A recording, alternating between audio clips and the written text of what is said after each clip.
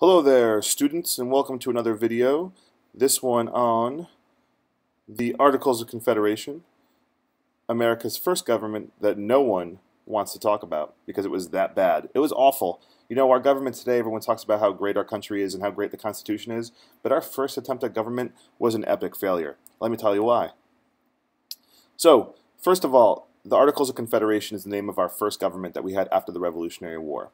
And we decided eventually that this government did not work, and we replaced it with a new government that we live under today.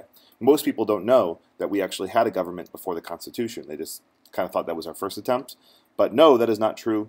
You can amaze your friends and family with that little trivia nugget. Now, moving on. A vocab alert. See here? It's in bold with exclamation points. Um, a big important word is the word confederation. A confederation is an alliance of independent states. This is a style of government. We do not have a confederation today.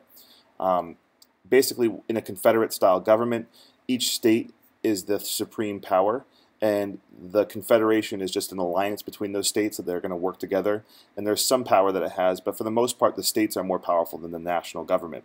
So think of it if we had a confederation today, the state of Connecticut would be more powerful than the Washington, D.C. government. So it's a little bit backwards of what we're used to. One example of that is the United Nations. It's kind of like a confederation because there's all these different countries that group together and work on problems, but each country is still in charge of its people and not the United Nations. Okay, moving on. So the Articles of Confederation was set up in a little bit of a different way. It had only one branch of government, just a legislative branch that made laws, uh, versus our three-branch government that we have today. In their legislative branch, they only had one house in their Congress. Today we have two houses in our Congress, the Senate and the House of Representatives. They only had one. So you can see the Confederate government is much, much smaller. Each state gets one vote. So Rhode Island, that had little tiny Rhode Island, had an equal say to big old Virginia back then. So that's a little weird. Um, Two-thirds vote was required, so more than majority to pass any laws. And you saw in Mrs. Vibert Johnson's presentation for earlier this week that the colonial regions were very different, so getting two-thirds of the states to agree on anything would probably be very hard. And even harder would be is if you wanted to change the government in any way, add something to it, which is an amendment, or change something, it required a unanimous vote. And you could probably picture that with the regions as different as they are, well, they would never all be unanimous. This confederation, like I said, in a confederation, the states have most of the of the powers, the jobs, but the Articles of Confederation did have some jobs, and these are what they were.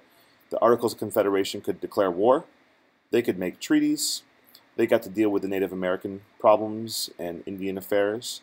They were able to have an army and a navy. They were able to coin, which meant to print, or borrow money. They could not tax the people, which was a big problem. They had the ever important job of regulating weights and measures, which meant deciding like what kind of system of weights and measures we'd use. And they ran the post office. So you can see their jobs are pretty insignificant compared to the kind of jobs our government has today. Um, the state governments under the Articles of Confederation were actually way more powerful. They were written earlier, so the states wrote their governments during the Revolutionary War before the Articles was written. So the state government was more powerful. The state governments had three branches of government. They were the ones that set the voting regulations. State governments had Bill of Rights that protected their citizens' rights.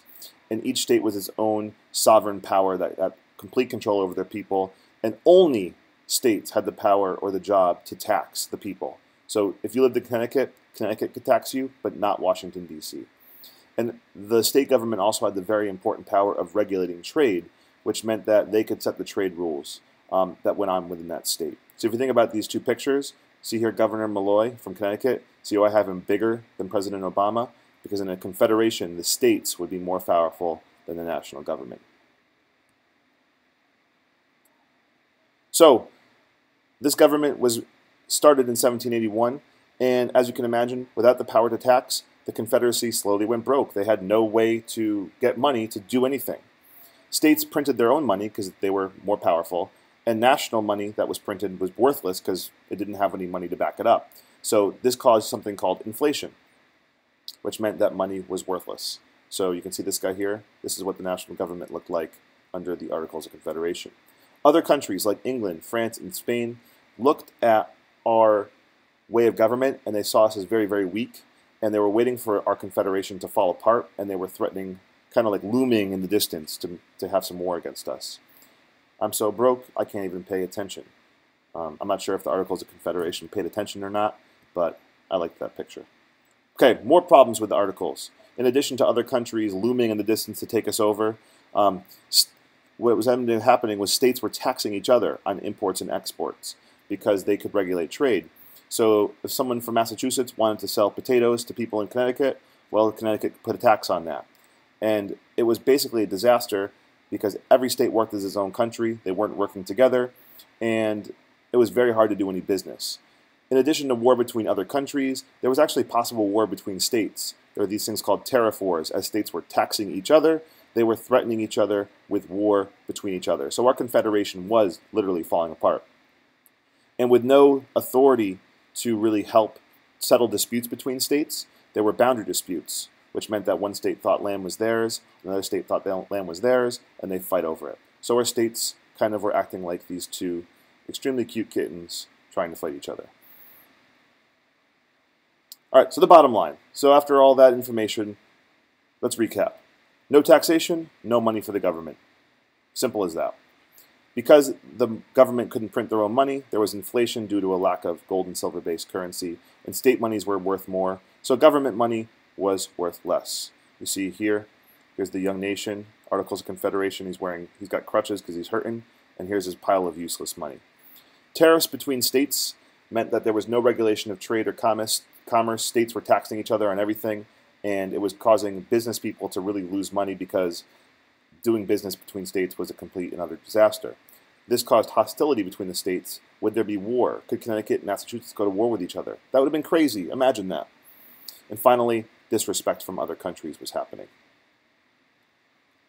Okay, finally, we're going to learn about this a little bit more in the next video. There was a big, big important thing that happened in 1787 um, called Shays' Rebellion. The Confederation was obviously a social contract that was not working. Rights were being violated. Because people were going into debt and the states weren't helping people and the government wasn't helping people, farmers in Massachusetts were being put in jail because they couldn't pay their bills. People did not feel safe. States were threatening war with each other. In Massachusetts, farmers finally rebelled against the government. They took up their pitchforks and their guns, like you see in this picture here, and they marched on the government to try and stop the government so they'd stop getting put in jail. This was a huge rebellion. It lasted for several months. And people were like, oh my God, this is awful. The people of our country are fighting against the government. We need to do something fast. The rebellion was an eye opener that the social contract needed to change. A new government was needed. So, what ends up happening is um, we end up looking at starting a new government eventually, which will be a future topic. But in conclusion, the Articles of Confederation was America's first attempt at national government, and as I told you, it was an epic failure. Um, it made everything a complete disaster. The government was very weak, it had limited powers, and the states had most of the powers. Because the states had most of the powers, there was no one to settle disputes amongst them. The Articles of Confederation could not tax or regulate trade between states. The government was broke, and lots of problems were happening in the country. Like I said, taxes between the states, possible war between the states, and people suffering because of the lack of government. And then finally, Shays' Rebellion was the eye opener that this government was not working and that something needed to change.